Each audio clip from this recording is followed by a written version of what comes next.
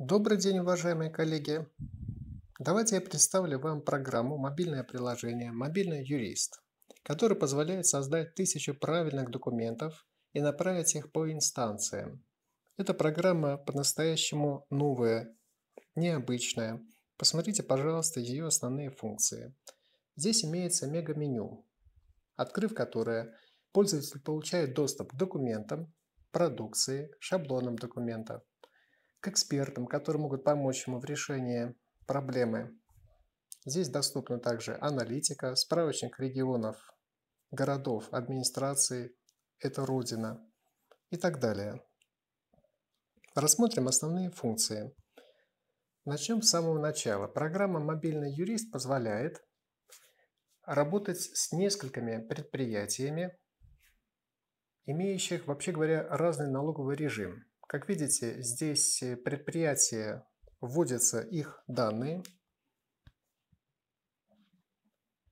Можно уточнить реквизиты предприятия, выбрать этого предприятия главным и именно от него продолжить работу. Не забываем сохранить. Главное ведущее предприятие всегда находится в начале списка, вверху. В последующем при, допол... при добавлении договоров или размещении заказов именно от этого предприятия выставляются документы. Рассмотрим вот эта кнопочка «Мир». Она показывает агентов, которые позволяют заключить сделку, помогают или урегулировать спор. Здесь представлены Россия и Казахстан. Возьмем произвольно, выберем определенную точку – ну, как видите, здесь появляются списки специалистов, с которыми вы можете взаимодействовать.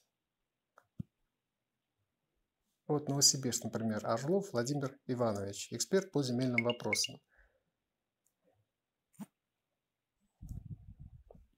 Итак, то, что касается главного меню, еще раз. Каждый раз, когда вы выбираете документы, можно за основу взять определенный шаблон. Пожалуйста, вот это шаблон договора заказчик поручает, а исполнитель принимает на себя проведение комплекса правовых консультационных услуг в конкретной области. Как вы видите, здесь приведен фрагмент договора, но без так называемой шапки, где указаны реквизиты, и без подвала, где также указаны реквизиты и подписи. Однако, если этот договор отправить на печать, то появляются, вставляются реквизиты в зависимости от контрагентов. Здесь контрагент, во-первых, типы этого договора. Я – это дилер, от имени которого заключается сделка. Он – это то лицо, в пользу которого услуга оказывается. Если вы добавите очередной документ, то снова Программа будет предлагать вам выбрать определенный тип, например, «Я», «Он», «ГОС». В качестве «Я» вы выбираете, например, Сибирский центр медиации, «Он», например, «Сукины сыновья», индивидуальный предприниматель. И здесь вы выбираете государственный орган, в который обращаетесь. Арбитражный суд города Москвы. Вы можете направить документы только себе, только вашему визави, или себе и визави, и они будут э, направлены по электронной почте.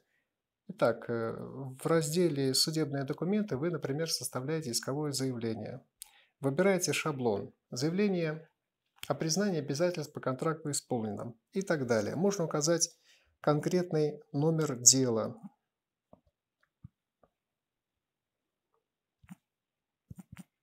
И так далее. Можно поменять роль. Если моя роль, моя роль, конечно, должна быть истец. Давайте попробуем. Вот видите, роли поменялись. Теперь вот э, пошел сам текст искового заявления. Мы его сохраняем. Заявление направлено по электронной почте. Когда вы приобретете подписку на эту программу, вы убедитесь, что заявление составляется буквально за 20-30 секунд. Как видите, заявления самые разнообразные, самые разные шаблоны. Еще раз о шаблонах. Они сгруппированы по этим ключевым признакам, как мы убедились с вами. Я, он, я, он, гос. Я, он, гос, третье. Это означает, что, например, происходит спор, где рассматривается заявление или жалоба в налоговый орган и участвует третьим лицом, например, поручитель и так далее.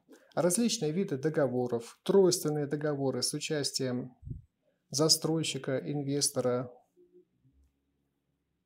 строительной компании. Самые разные. Теперь вот интересный справочник «Родина». Родина позволяет, как видите, сделать классификацию по регионам. Здесь самые разные регионы. Посмотрим, например, Архангельская область.